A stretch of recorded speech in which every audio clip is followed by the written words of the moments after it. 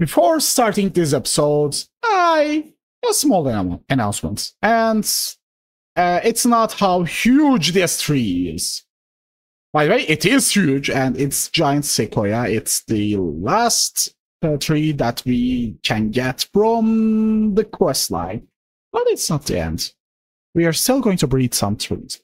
Anyway, the announcement is after some procrastination and uh, yeah, laziness on my side, I finally decide to open an English Discord.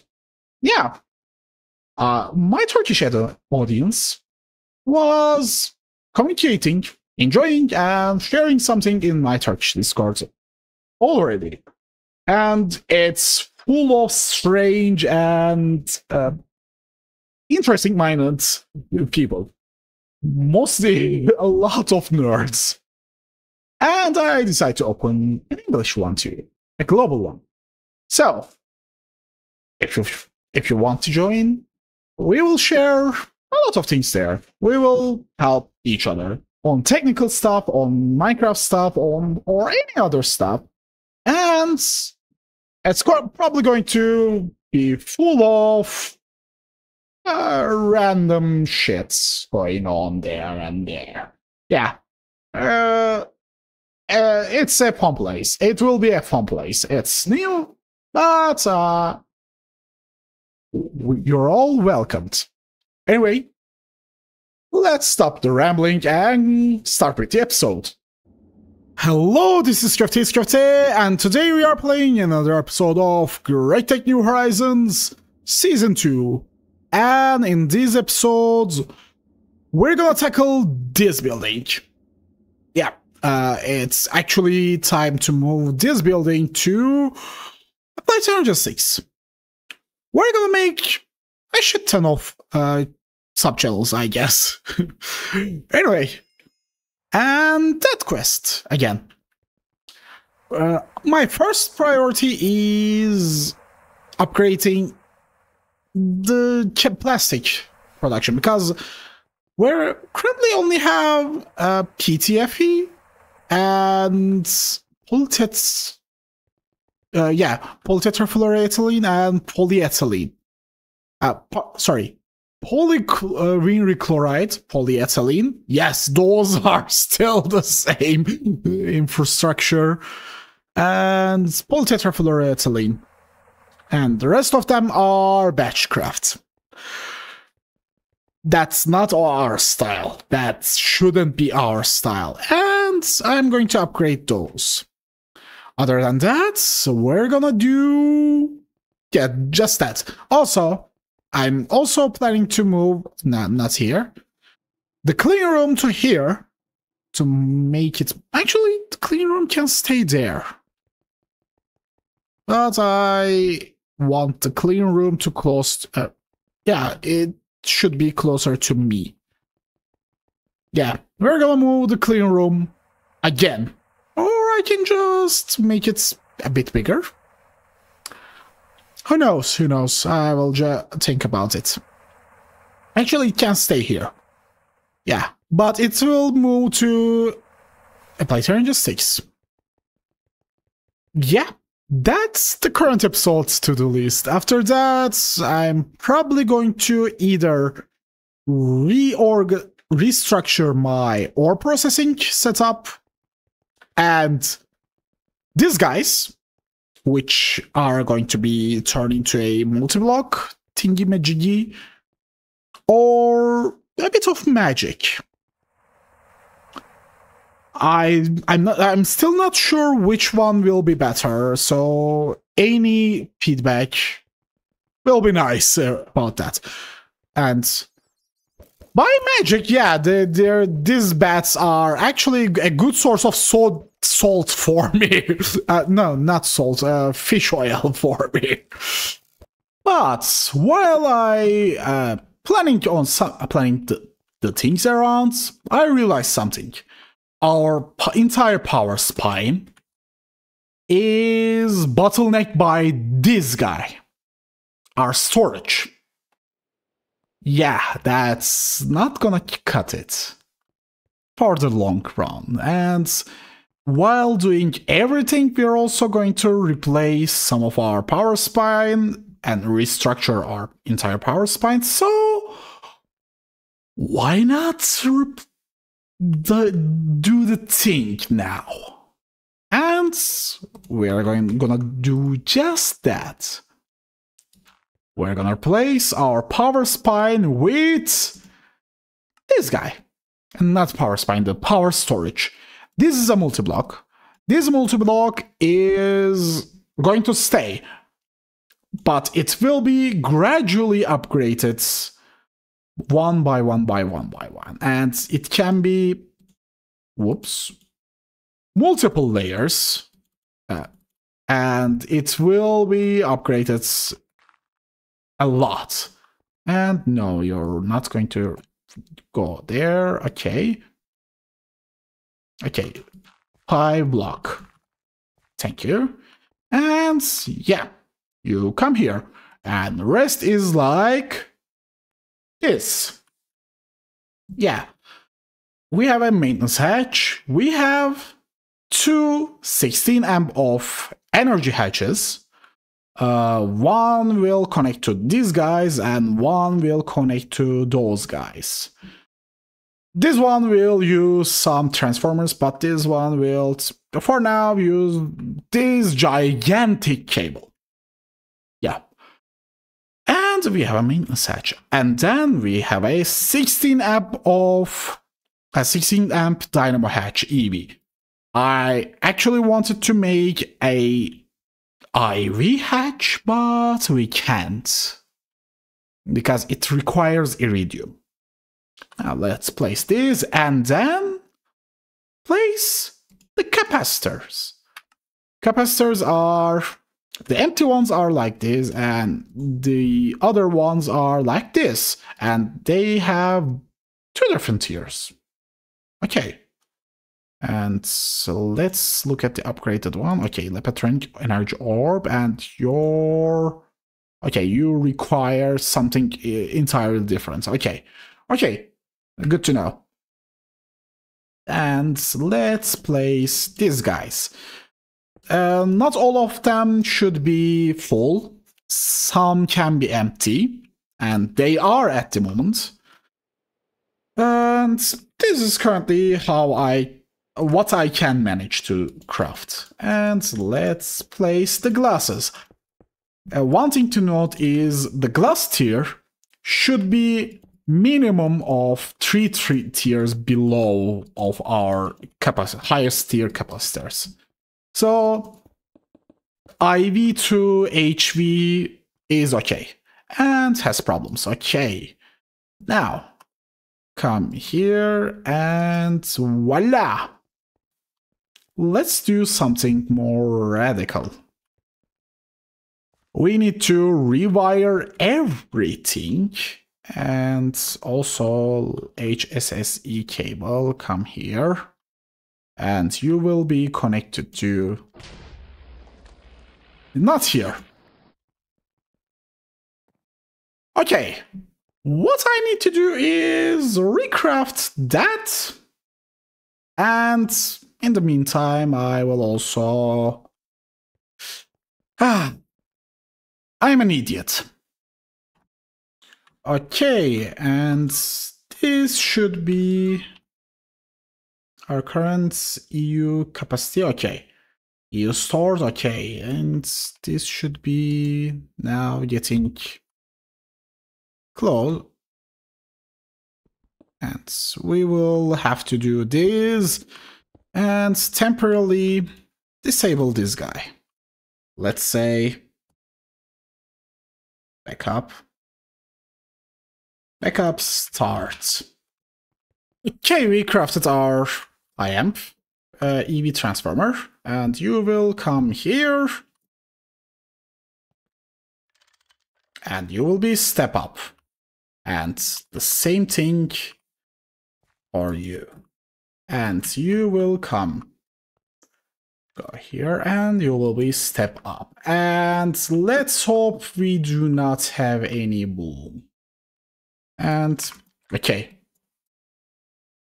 Okay we don't have any boom. Okay, our issue is not power output because it give it outputs. And what is our main issue? I am transformer. You should be. Wait a second. Okay, it should be reverse. So Okay, uh, our system is back on, and yeah, everything should be okay-ish. Also, and next goal is actually I will probably craft a bunch of transformers and actually I can use manual transformers too. Yeah, let me just look at them, but I will do them later. Not at the moment. So, we upgraded our power spine. And all I have to do is...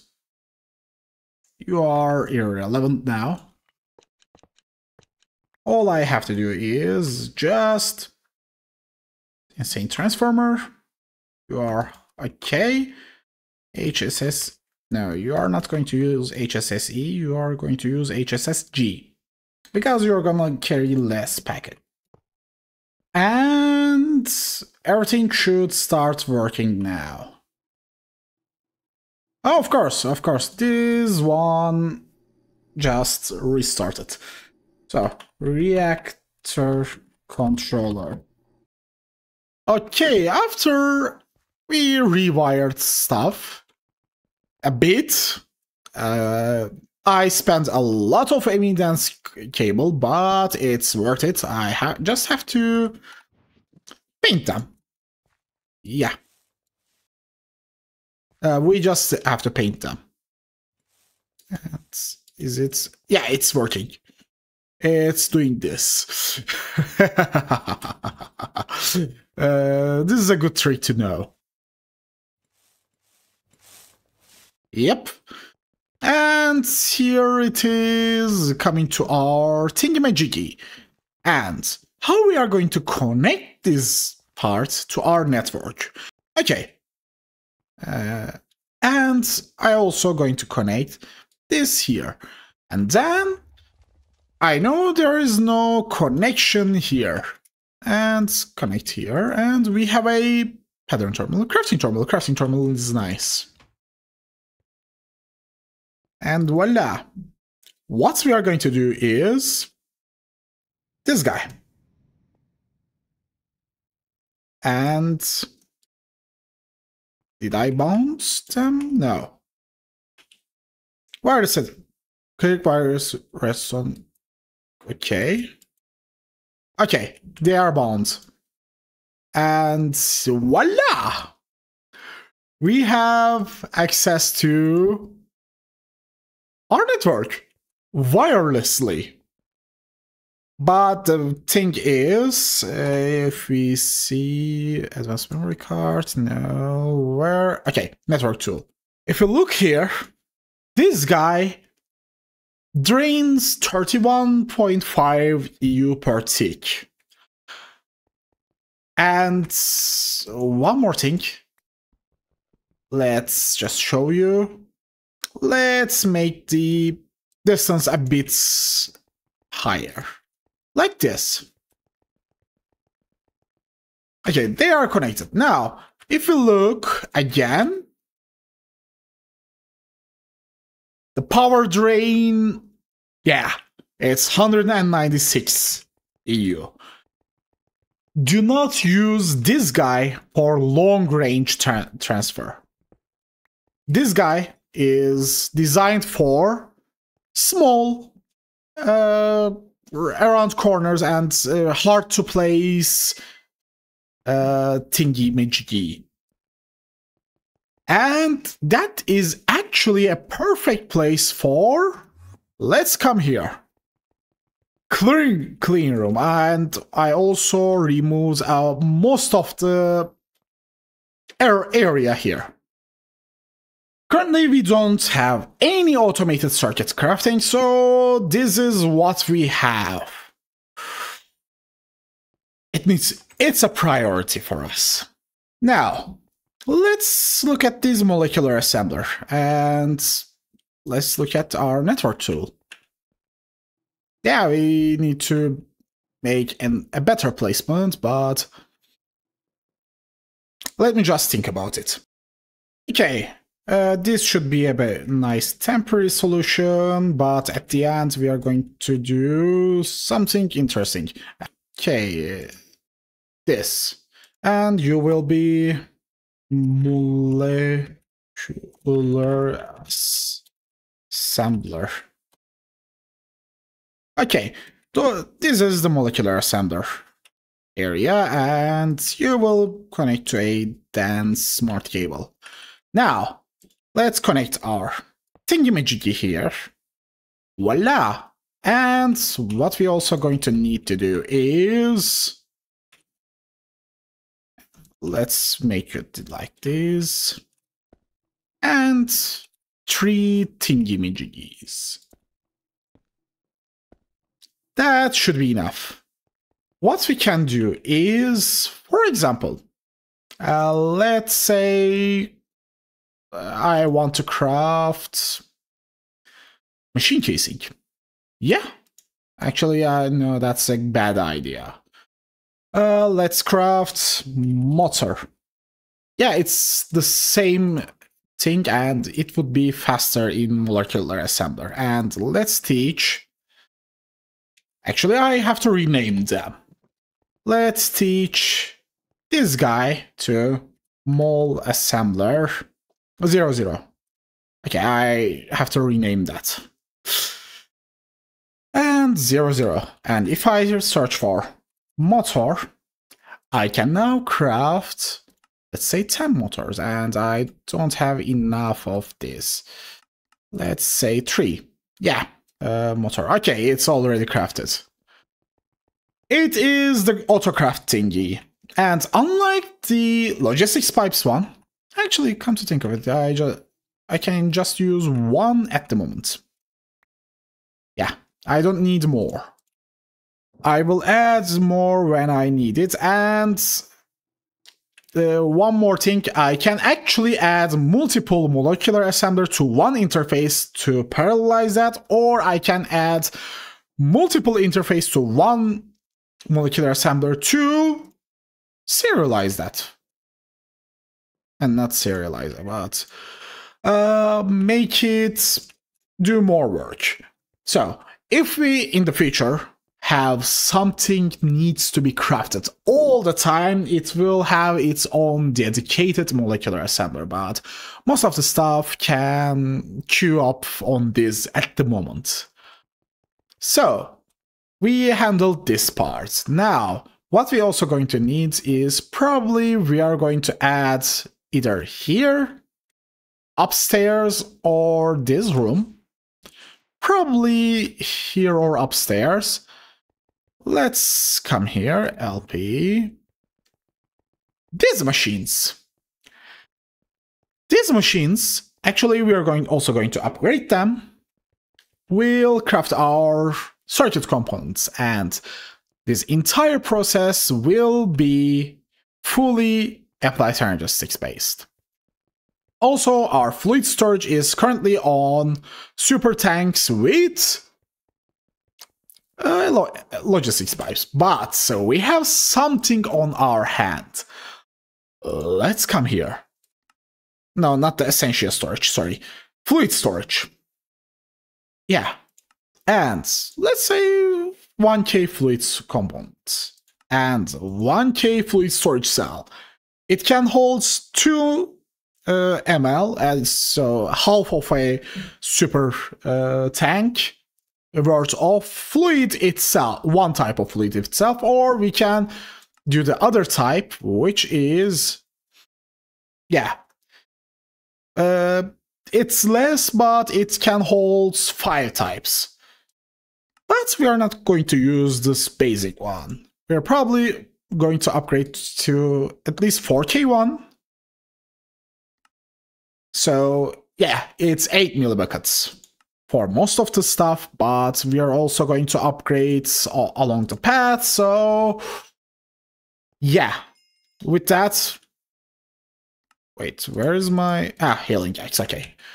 With that, actually, instead of let's come here, uh, and also let me just take this quest. It's far cheaper, far far cheaper to make uh, cables like this at this at the point. Yeah, for example, if I directly moved this infrastructure to turn 6, uh, 5, 10, 15, 20, 25, 30, I have to sacrifice 30 channels. And with this setup, we are in in mind, if I use one type storage, uh, one cell per fluid, I will use just three channels. If I prefer, for example, uh, five per uh, cell, that would means actually one channel. Yeah. Yeah, one channel, and I still have plenty of space. So yeah, you know what we are going to do? To save the channels. But I'm out of time in this episode. Actually, technically, I can take an, an, any amount of time, but there is fight going on. Okay, what was I saying before I rudely got interrupted? Yeah, uh, my cats are acting strange today. And what happened is Pom Hachi decides to jump on my desk and Pamuk decides to jump on her. Yeah, that's not a pleasant uh, thing, both on my side and Pachi's side. Uh, on Pachi's eyes, it's something like this.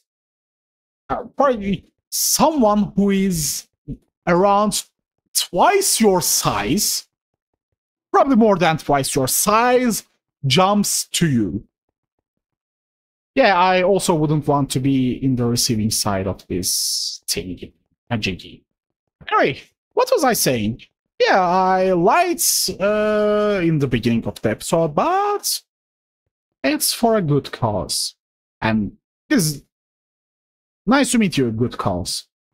Anyway, next episode, I will craft a lot of interfaces a lot of thingamajiggies and a lot of storage cells to finally move our entire infrastructure away from logistics pipes. We're probably going to use logistics pipes for remote networks, some remote uh, locations, because it's still useful and it's still an amazing tool for some uh, automations, but we have to centralize everything. Anyway, as usual, please do not forget to like, comment, if you like, share your video. All the feedback, all the interactions are appreciated and helps to grow this channel. And I also really enjoy reading all the comments, so this is Crafty Crafty, and have an amazing day.